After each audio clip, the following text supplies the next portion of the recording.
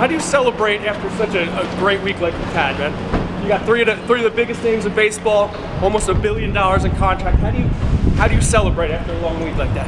The biggest celebration is that you get to call the players you represent, let them know that they're, uh, you know, something they worked so hard for is complete. So it's really a great thrill. Is it fair? Like a lot of teams are scared to, to negotiate with you. Do you think that's a fair that they should be afraid of you or no? Oh, I don't think anybody is. When you represent great players, everybody wants to talk with you.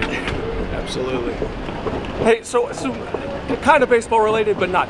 So Bernie Sanders took a shot after uh, Gerrit Cole signed that contract, saying if we could, you know, sign something for 324 uh, million, we should, teachers should be able to get 60,000 a year.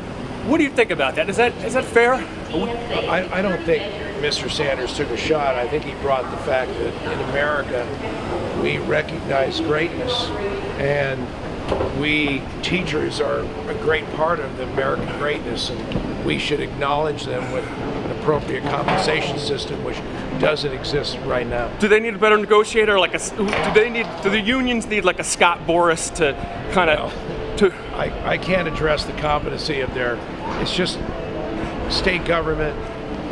What we do as a society, we need to reward the people that teach and generate the next generation of, of brilliance for America. But- and it's very important. I guess his point is basically we're overpaying players, but we're not we're not paying teachers. I don't, I don't think he's su- suggesting that anyone of greatness is overpaid. I just think he says that a, an additional quadrant of greatness needs to be acknowledged like players are being acknowledged.